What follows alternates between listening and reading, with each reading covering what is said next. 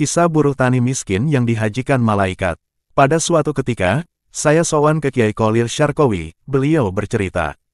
Pada saat beliau berhaji beberapa tahun yang lalu, beliau kebetulan sering bersama-sama dengan seorang tua asli Indramayu, Jawa Barat. Hampir di setiap tempat, terutama di Masjidil Haram, beliau bertemu, dan saling membantu, lebih-lebih Kiai Kolil yang memang merasa kalah tua dalam umur. Sampai pada saat mengurus syahadah haji, Kiai Kolil menyanggupi untuk mengambilkan syahadah tersebut. Namun setelah syahadah berhasil beliau ambil, ternyata rombongan Indramayu sudah berangkat ke Madinah, sehingga beliau pun berniat menyerahkannya di Madinah. Tetapi setelah sampai di Madinah, ternyata Kiai Kolil tidak pernah bertemu orang tua tersebut. Akhirnya, Yawes ndak popola, toh bisa saya antarkan di Indonesia nanti, demikian gumam Kiai Kolil. Sepulang dari haji, seperti biasa adat Jawa, banyak tamu yang sowan.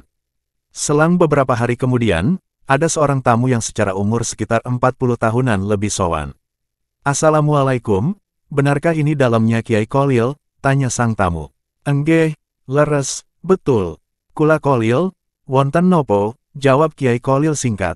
Mohon maaf Kiai, kula tidak bisa bahasa Jawa, sebab kula asli Indramayu, kampung bla bla bla. Saya lupa namanya, jelas sang tamu.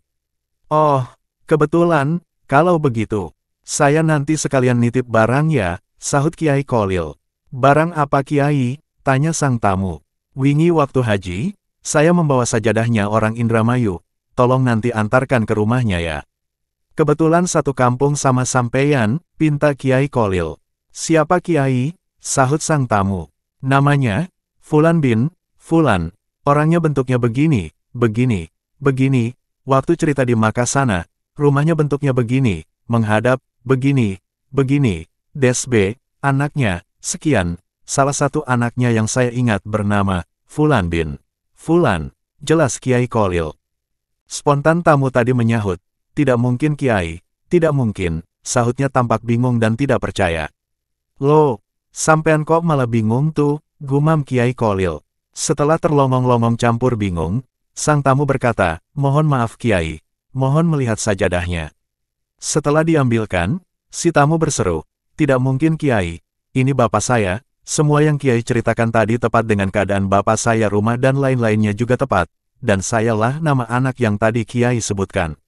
Tapi tidak mungkin Kiai, bapak saya sudah meninggal 12 atau 15 tahun yang lalu.